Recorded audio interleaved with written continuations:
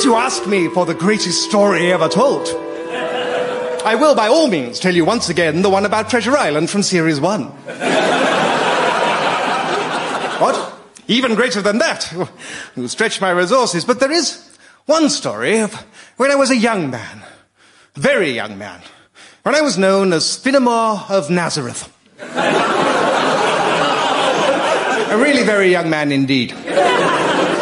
I was working, you see, as senior advisor to Emperor Caesar Augustus. Good morning, O great Caesar Augustus, fount of all wisdom, master of my destiny, before whom I am as the wheat beneath the scythe. Yes, yes, never mind that. Look, I've decided to make a decree about tax. Oh, yes. What's the plan? I'm going to tax all the world. All the world. Yes. Ambitious. Well, you know me, think big. Also, I think we'll get more money that way. Great Caesar's logic is flawless. I will announce the decree. Yes, I, no, I also thought, let's say everyone has to go back to the city they were born in. Why? It'll just make things easier, I think. To make things easier if everyone in the world is forced to travel simultaneously whilst doing their tax return. Yes, I think so. Why? Do you have a better idea? We could just tax them where they live now. Ah, no, I don't think that would work. Uh, besides, my plan will stimulate the economy. Uh, think of all the money innkeepers will make, for instance. Yes. As it happens, O Caesar, I myself keep a small inn in Nazareth. Oh, there you are then, Kerching. Yeah, although I was born in Bethlehem. Off you go then. And so I boarded up my inn and began the long journey to my hometown. And on that journey, down that dusty road, a humble donkey watched me go on my massive luxury horse. on arrival, I made my way straight to the inn. Excuse me, do you have a room for tonight? Oh, um, uh, do we have a room, Hannah? Oh, not tonight. I'm sorry, sir. There's no room for you at the inn. No room? Why is the little town of Bethlehem so busy? Well, this taxing, of course. Yes, yes, and also the hopes and fears of all the years are met in us tonight. I see, a convention.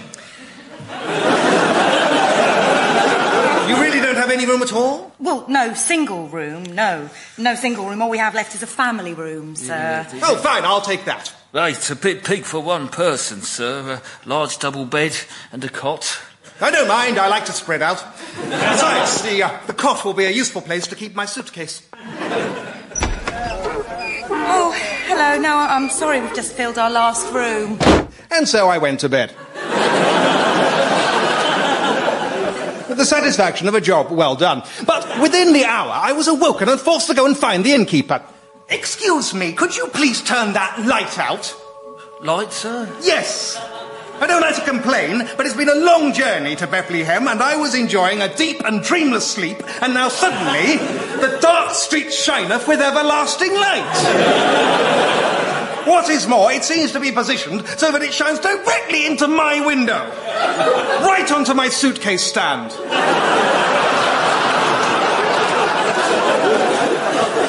Also, while I have to admit that your local choir is excellent, is one o'clock in the morning really the right time for choir practice? The innkeeper promised to see what he could do, and I returned to bed, but before long. Excuse me, why is your inn suddenly full of sheep? Oh, they've got in, have they? Yes, they have. What are they doing here? Well, the shepherds brought them in. It's been a bit of a funny night, Yeah, you the see. shepherds. Yes, the shepherds can shut up as well. Oh, dear. Are they singing bawdy shepherding songs? No, no, they are glorifying and praising God for all the things that they have heard and seen. But they are doing it really loudly. I'm sorry you've been disturbed. I'll have a word with them, but it's been quite an unusual night, you see. I don't want to hear excuses. I just want to be left to sleep in heavenly peace. Fair enough, sir. Good night. But within the hour, I was up again. What is it now? And I'm a little bit busy trying to find swaddling clothes. Look here, I tolerated the light and the choir and the shepherds. I even tolerated all those regal fanfares that started half an hour ago. But this is the final straw. There is a little boy standing directly below my window, literally playing a drum. It's four o'clock in the morning. I do not want to hear a rum pum pum pum. A rum pum pum pum. A pum pum pum. I don't know where he even found the drum that could make that noise. I understand, sir, but you see, something incredible I don't care. happening. I don't want to hear about it. All I want you to do is to do something about that boy, him and his drum. Otherwise, I will have no choice but to give this establishment an extremely poor review on Rate My Inn. What's that? It's a scroll of parchment about inns, which I compile, and then go round reading out to people. Oh, well, in that case, I'm sure there's something we can do. And so it came to pass that when I left Bethlehem, I made known abroad all that I had seen, and all they that heard it wondered at those things which were told them by Finnemore. Namely, that if you make enough fuss, there's an inn in Bethlehem that'll knock 25% off the bill. that surely is the greatest story ever told. Good night.